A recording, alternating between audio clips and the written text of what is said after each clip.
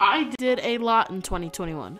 I graduated, I partied a lot, and I danced in the rain. 2021 has taught me so much about who I surround myself with and what I do. I know I didn't upload for the whole of 2021, but I do want to change that. This video is going to be a recap of my 2021, my best moments with my best friends, and just the fun that I had.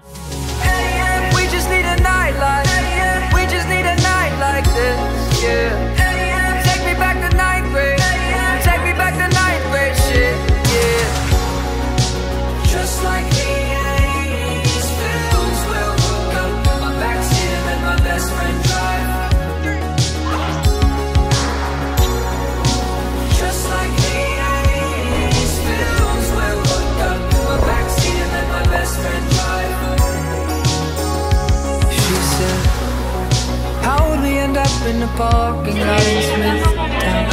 The morning's on its way to sunrise.